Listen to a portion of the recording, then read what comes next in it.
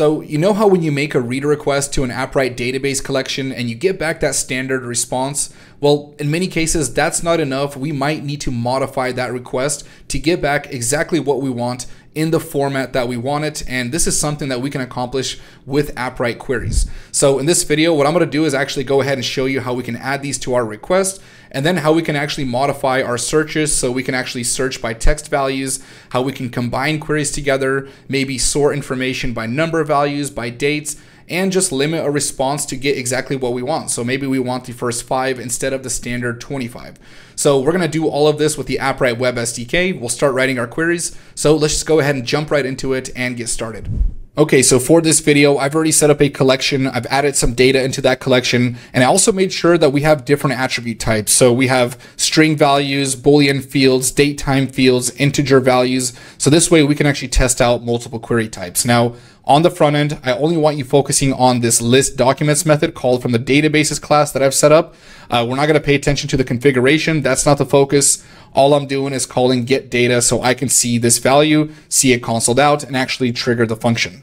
So let's just go ahead and talk about the list documents method before we get started because this is where we're writing our queries from. So the default behavior here is to simply return back the first 25 documents in a collection and then give us back the total of documents in that specific collection. Now, if we want to write some queries here and extend this, we pass in a third parameter here. So we have the database ID, the collection ID, and the third parameter is going to be an array. And the reason why it's an array is because we can actually chain multiple queries together and you can actually see how this will work in a second. So if we want to write our first query, let's just go ahead and import the query class here. And from the query class is where we can start writing these methods from. So we'll just do query and the first one I'm going to use is going to be equal. So essentially this is an exact match and we have to pass in the attribute name. So let's say I'm looking for the name value and specifically I want to find Dennis Ivy. So if I run this search, we're going to get back Dennis Ivy. Now, if I misspell this, let's say I just do Dennis I. Now, it's not going to find anything because that match needs to be exact. Now, we do have different methods to actually make this work right here, but we'll focus on those in a second. So let's say I make this Dennis Ivy here and I want to search for not just Dennis Ivy. I want to be able to do like an OR operation here. So what I could do is go ahead and make this an array and this will still work right here. But I can also look for Dennis Ivy and Jane Doe. So if I spell this right, then we get back Dennis Ivy and Jane Doe. Now, what I also could do here is I can actually remove Jane Doe and I can use the not equal value. So let's just do not equal like that. And this is going to look for everyone that's not Dennis Ivy here. So it'll return back six items here and there's no Dennis Ivy to be found. So it's just the opposite. And pretty much every method has an invert and you'll see how this works in a second. So uh, let's actually go back to equal. And I want to show that this works with integers here. So let's say we want to look for followers. So followers, and we want to find everybody that has 280,000 followers. So if I run that search, let's see, I went too high there. Now here we get back Danny Thompson. So it works with an integer value. We simply pass in the attribute that we're searching against and then the value here. Now, with that search, if we're searching against string values, it's very common to do like a partial match here. So what we need to do here is I'm actually going to show you the starts with query here. So starts with is going to give us like a string value, but as long as the beginning part of that text matches, it'll return back some kind of result. So for this, let's just do query dot starts with, and we're going to look for name, and you're going to see this as a common practice here where we do the attribute and then the value, and let's just do D. So if we do D, we get back three values here. So Dennis, Ivy, Dennis Ivanov, Danny Thompson. Now if we do DA, we'll just get back Danny Thompson.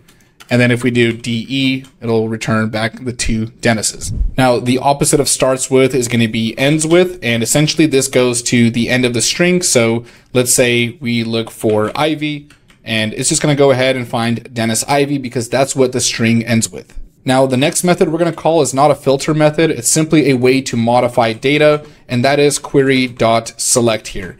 Now, what this is going to do here is it's going to allow us to select the attributes that we want to respond with. So right now we get back an array, we get back all the objects, and we can see every single attribute that the document contains, but we might not want to do that. Maybe we want to limit what's actually returned.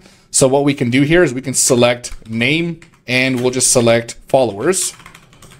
And now if I run this, we're going to get back a response. We have Dennis here and we only see followers, name, and then by default still the database ID and collection.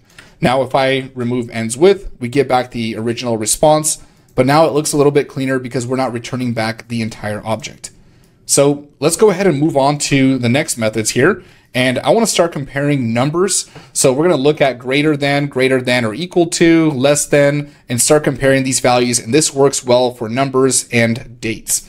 So let's just go ahead and do greater than and for the attribute, we have to do followers. And for the number, let's just do 20,000 here. So we'll run this. And there we go. We have three responses here. Let's go ahead and do less than. So if we do less than, now it returns back four, and we have everybody with less than 20,000 followers. And then if we do less than equal, I believe it's equal like this, if we actually have an exact value and someone has 20,000 followers, then it makes sure to include that person. So it's either less than or equal to that specific value. So we'll just let that autofill. And what I want to do is I want to show you how to search between a specific range. So what we could do is actually just chain these together and we can just throw in a greater than search. So we have a less than or equal to 20,000. And then let's say we want everybody that has more than 10,000 followers. So we'll just finish this up, followers, and we'll add in 10,000 and this will give us everybody between 10,000 and 20,000 followers. So we simply chain it together and it works great. So if we throw in 30,000, then we get back three responses and that's how we create our own range. This also works great with dates. So at this point, let's just go ahead and look at limiting queries and also sorting. So in order to actually do this, we're just going to go ahead and use the query method again. And we have this order ascend method and order descend method. So if I do by descending, this will give us the response with the highest follower count to the least. So we simply throw in the attribute and that's it. So we just do followers and let's run that. And Danny Thompson will be at the top here. And then if we change that to ascending, that'll just reverse that. And now Dennis Ivanov will be at the very top here. Now, if we want to limit the response, we could just keep this ascending order and we can just do query dot limit. And right now we only have seven items in our database here or in our collection, but let's say we only want the first two items. So we can change that and we get back the first two and modify that as we need. So I have one more method to show, and this is going to be a search method.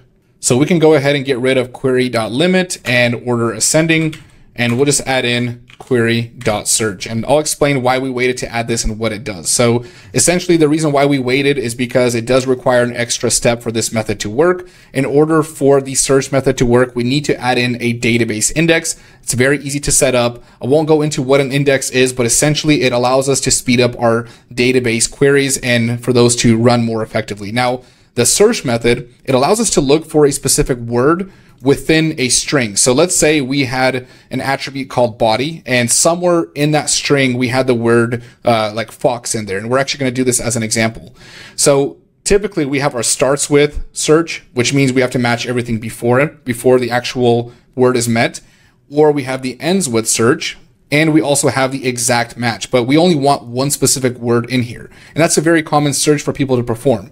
Now, what this will allow us to do is I actually put in a sentence for one of the names here. I added a new value into the database. It'll allow us to look for the word fox in the sentence, the quick, the quick brown fox jumped over the moon. I think that's what I added. So right now, if I try to run this, I'm going to get this error and it's just simply not going to work. So in order for this to actually work, I need to jump back into my console here and I need to go into indexes within my collection and we're going to create that index. And we're not going to specify a new name for that. We're just going to do index one for the key. And we need to do full text here. And we're going to specify the attribute to be name here. And we're just going to create the index. So now that that's created, in my documents, I have this document called, or that has a name value of the quick brown fox jumped over the moon. Let's see, somewhere here, if I go to data, Yes, I have it. And I'm going to look for the word fox. So starts with search would require us to do all of that. Ends with would have us do all of this. And contains or an equal to search wouldn't work. But if I go ahead and just run this right here, now we're going to get the response and we get back the name that contains that specific word. So we have an entire sentence, but the search method allowed us to specifically find the word fox in there. So that's why it's very effective. And that's also why we needed to create an index for it. All right, so that does it for this video. I hope you all learned a lot and be sure to leave me feedback in the comment section if you have any questions. I'll be sure to watch that and try to respond as fast as I can. And make sure you're subscribed to the Appwrite YouTube channel and I'll see you all in the next video.